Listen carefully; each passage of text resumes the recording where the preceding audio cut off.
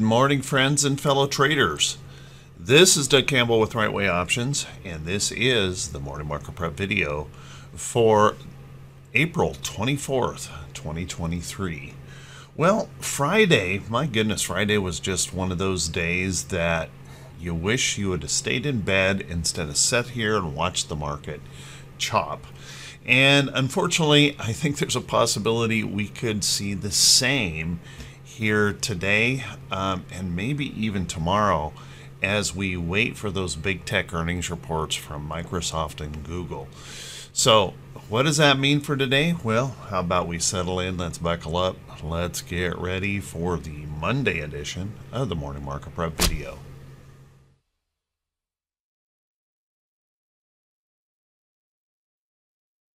Good morning once again, everyone, and thanks so much for being here. I do truly appreciate it. Let's take a peek at these charts and see if we can figure out how we might want to approach the market for today.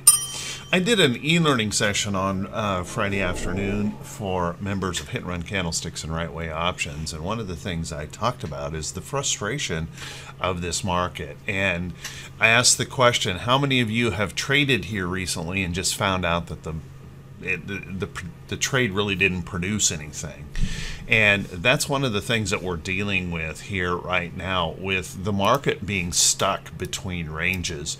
We've got a high range, a low range, and all four of the indexes are stuck in this range. And so it's really not that big a surprise that it's a little bit frustrating right now. Um, one of the things that um, there's been an awful lot of pump and inspiration and hopefulness and all kinds of things about these earnings reports.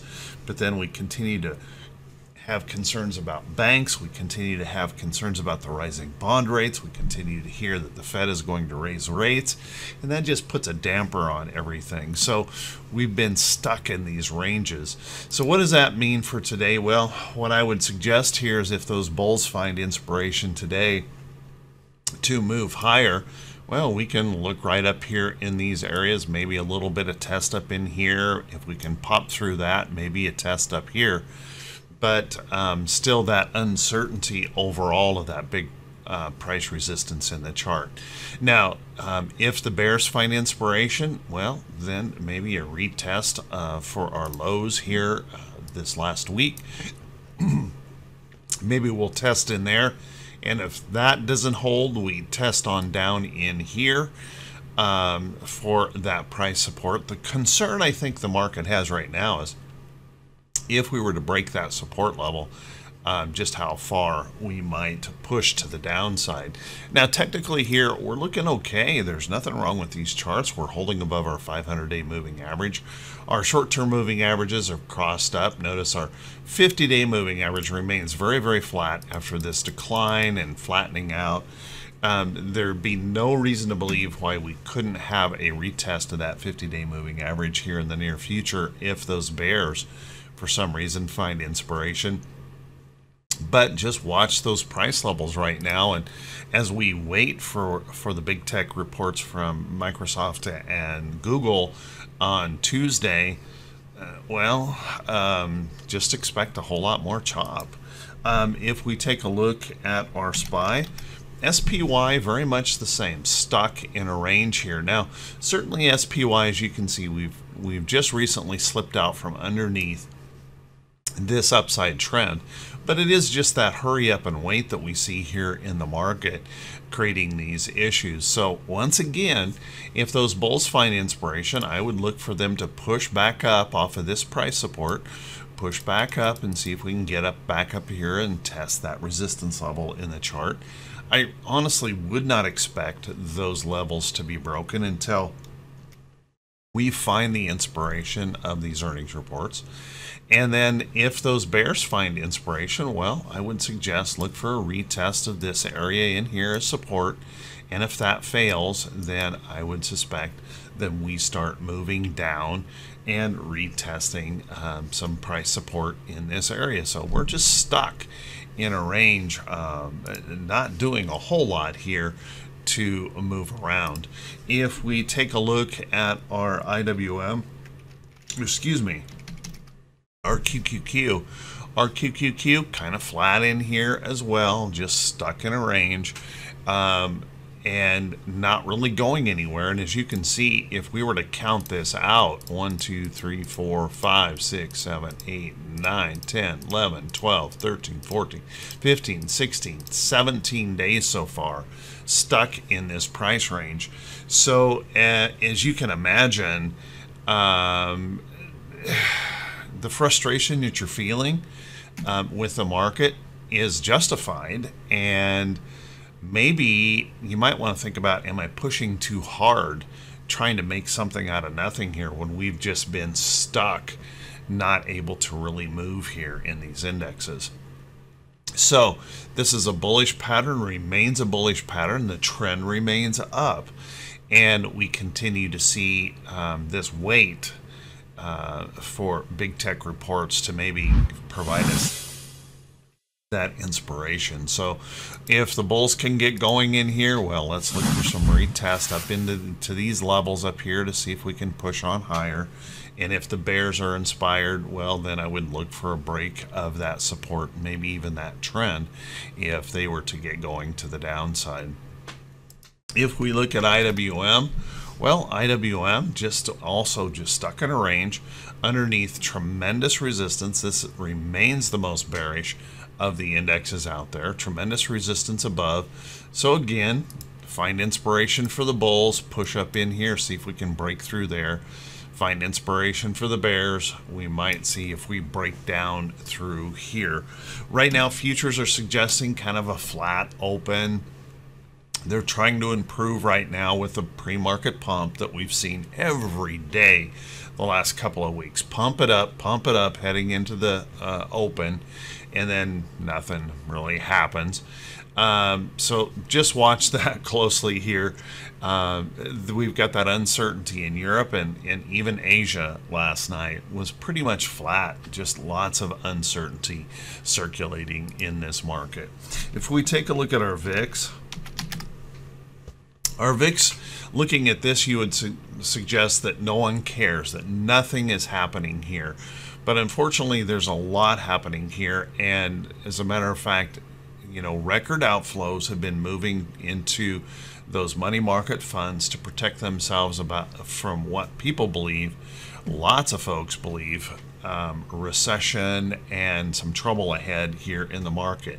Now, I don't know if that's true, and I don't think they know anything more than um, you and I know but certainly um, all of that volume moving out of the out of the market has created some impacts here to the VIX, and then also um, the the massive zero day to expiration trading that's going on is also having a weird effect here on the market. So I don't think we're as um, I don't think we're as calm as what this might be showing us here in the market um, I think we're probably winding up for a really big point move.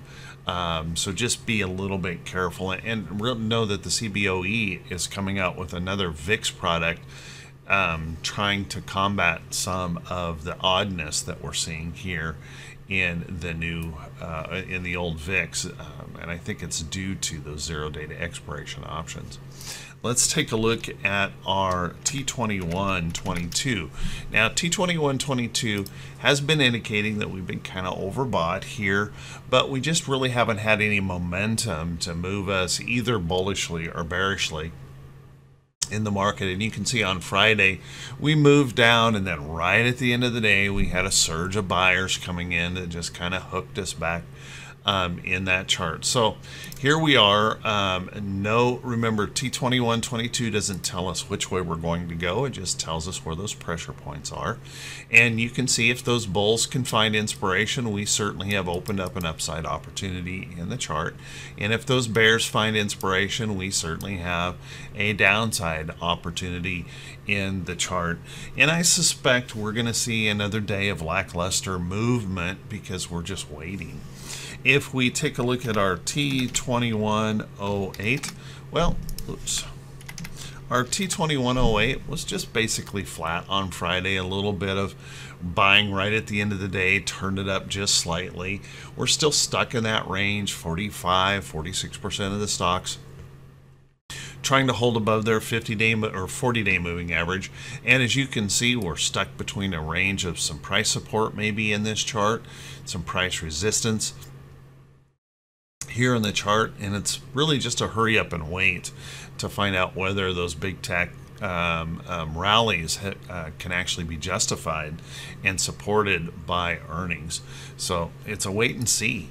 And then if we take a look at our T2107, T2107 almost dead flat. It's been running in this flat line here for several days. Um, resistance above, support below. 45% of the stocks um, holding above their 200 day. We're just kind of lingering here, waiting for some kind of inspiration. T2101 continues to decline here. You can see the T2101 is telling us that there is no momentum in the market. We're just stuck in this range. Uh, the wandering back and forth is creating lots and lots of chop, lots of frustration. And um, in the coaching sessions that I've been, you know, working with people um, in trading, finding uh, tremendous frustration, lots of losses. None of them are big, but lots of losses because we're trying to trade a market that really is stuck in the mud and can't quite seem to find anything to, to move along um, um, out of that area. Let's take a look at our um, economic calendar here for today. And our economic calendar pretty light on the day, but as we ramp up through the week, wow, we've got some big reports coming our way that could provide quite a bit of price action. First off, we've got the Chicago Fed National Activity here today, and we've got the Dallas Fed manufacturing numbers. Um, boy, these have not been good numbers here recently. I kind of suspect they're not going to be that great a number this time, uh, considering some of the numbers we saw that last week, but um, not the kind of numbers that really move the market a bunch. The other thing that's been pretty remarkable to me is as bad as our manufacturing numbers have been, market doesn't care. We're not, we're just absolutely willing to ignore really bad economic numbers right now um, in favor of, of, earnings and the hype around earnings. So just keep that in mind. We've got a couple of bond auctions today to be thinking about. Now, as we progress through the week, we've got some big numbers that could move the market pretty substantially. Consumer confidence, um, new home sales, that, those will be um, interesting numbers. Um, of course, on Tuesday we got bond auction in here. Well, the one good news is there's no Fed speakers. Where we finally entered the blackout period here for Fed speakers, um, so we won't be getting any of that this week. Um, on Wednesday, normal mortgage applications, but here we go. There's that big durable goods report, international trading goods. Those are both market moving reports. We'll want to be paying attention to as we slide into Thursday. We've got a GDP number coming along with our jobless claims. Um, obviously, market moving report. And then going into Friday, we've got the personal incomes and outlays number, which is the Fed's favorite um, number on inflation. So expect some volatility around these numbers this week. Let's take a look at um, our earnings calendar here for today. Now, our earnings calendar um, is going to really start ramping up. Today is not so such a big day. There are some market movers in here. We'll cover them real quick, but um, if you want to catch the full list of notables, make sure you click the link just below the title of the video. That'll take you back to the morning blog so you can catch that full list. Um, AGNC uh, will be reporting today. Keep an eye on that. We're going to hear from BOH here as well. Um, CDNS, whoops. You know, they make you type the right symbol here. Um, to find the stock the stock chart. So um, that's always a challenge for me in the mornings. CDNS, nice little consolidating range here. This could be interesting if that finds inspiration for the bulls or the bears. here this morning. Watch that close. Uh, CLF, uh, Cleveland Cliffs. Um, we've been seeing steel struggling here a, a bit, so kind of keep an eye on that CLF report here today. We're going to hear uh, from FRC. Um, FRC is one of those challenged banks. Uh, that'll be interesting here today. Um, we're going to hear from um, Credit Suisse um, coming up here as well. So um, also one of those very challenged banks out there to see how that's going to go. And then um, at the end of the day, um, not much inspiration as far as big gaps or anything for tomorrow. We've got uh, Whirlpool that will be reporting. So keep an eye on that. Let's take a look at some stocks that could be setting up for today. But before we do that, guys, if this is the first time you've seen these videos, if you could please click that subscribe button on YouTube and also click that bell icon when it pops up so you'll be notified every time I post a video. And if you find these videos to be useful or helpful, if you could please do me that favor, and that would be leave that brief comment, clicking those thumbs up buttons that helps a ton. Sharing the videos out on your social media feed, and also just a huge shout out to all you folks who support the channel through the Buy Me a Coffee link just below the title of the video. Thank you so, so much. You guys are just awesome. Never would expected this many folks um, would be subscribed to this channel. It's uh, I do my best to put out good content, but none of it would happen if it weren't for you folks watching these videos. So thank you so much. Let's take a look at some of these stocks. And remember, guys, these aren't recommendations to buy or sell any security. You have to do your own due diligence. Be very, very careful in a market like this. Um, I would expect this week big gap ups, big gap downs will be possible um, after we get these after the bell earnings reports, particularly from big tech. So just be prepared for that and be watching pretty darn closely. Um, let's take a quick look here. One of the things that's been causing us a lot of pain and concern here in the market is the rising of bond yields. And as those bond yields are going up, we're seeing a little bit of weakness here in the dollar. Now, take a look. We broke this little downtrend and we're holding in here. So perhaps we might start see a little bit of maybe a little bit of strengthening in the dollar if we can hold some of these price supports and that move back up. As you guys re remember i had mentioned this abandoned baby as being a very bearish uh, pattern here for uh, the us dollar.